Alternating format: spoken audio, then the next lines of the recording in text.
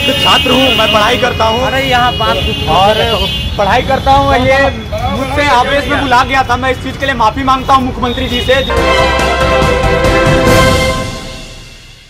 नमस्कार, देख रहे हैं आप सिटी पोस्ट लाइव और मैं हूँ आपके साथ पूजा शर्मा। मुख्यमंत्री नीतीश कुमार को धमकी देने वाला युवक को पटना पुलिस ने गिरफ़्तार कर लिया है। पटना के कोतवाली थाने ने इस पर कार्रवाई करते हुए युवक की गिरफ्तारी की है। बता दें आपको कि युवक का नाम विशेष चतुर्वेदी बताया जा रहा है तो वही विशेष चतुर्वेदी की भी इस पूरे मामले पर प्रतिक्रिया सामने आई है। बता दें आपको कि मुख्यमंत्री नीतीश कुमार से माफ़ी मांगते हुए नज़र आ रहे हैं तो वही कहते हुए नज़र आ रहे हैं कि आवेश में आकर मुख्यमंत्री नीतीश कुमार को जान से मारने की धमकी दी थी।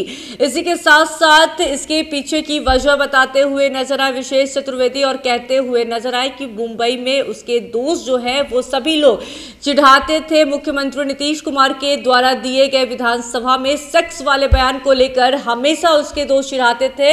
इसके बाद उसने मुख्यमंत्री को जान से मारने की धमकी दी थी। आपको बताते चले कि आरोपी विशेष चतुर्वेदी दिल्ली में ग्लोबल फाइनेंशियल मार्केटिंग कंपनी में जॉब करता है। सोशल मीडिया पर एक वीडियो वायरल हुआ था, इसमें आरोपी ने नीतीश कुमार को गोली से मारने की धमकी दी थी। विशेष राइस परसावा गाँव का रहने वाला है, वो मुंबई में रहकर डिप्लोमा कोर्स भी कर रहा था। छात्र के ऊपर 14 फरवरी को पटना के कोतवाली थाने में आईटी एक्ट समेत कई धाराओं में मामला दर्ज किया गया था। तो वही पुलिस ने आरोपी को पुलिस न्यायिक हिरासत में भेज दिया गया है। छात्र ने मुख्यमंत्री नीतीश कुमार से सार्वजनिक तौर पर माफ़ी मांगी है। उसने कहा है कि मैं छात्र हूँ, पढ़ाई करता हूँ, आवेश में आकर मुख्यमंत्री को बोल दिया था, जिसे वापस ले रहा हूँ।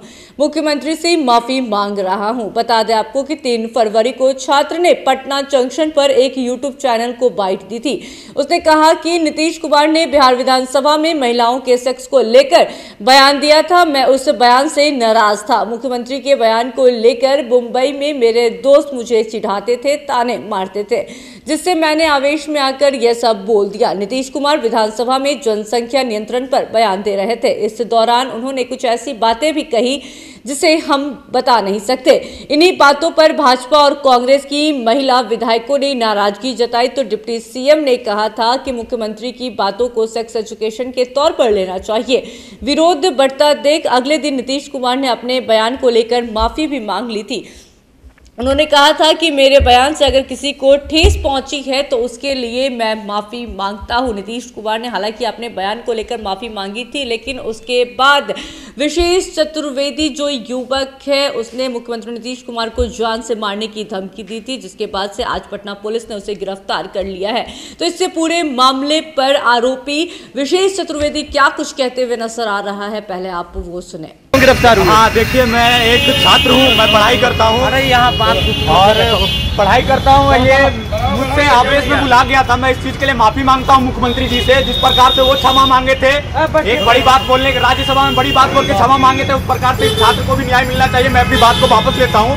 मैं आवेश में आके बोल गया था। क्या क्या बोले थे?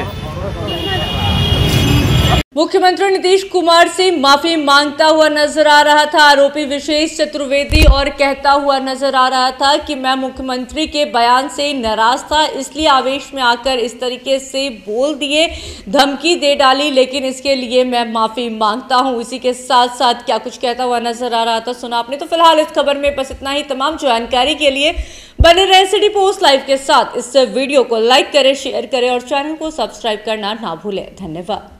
Música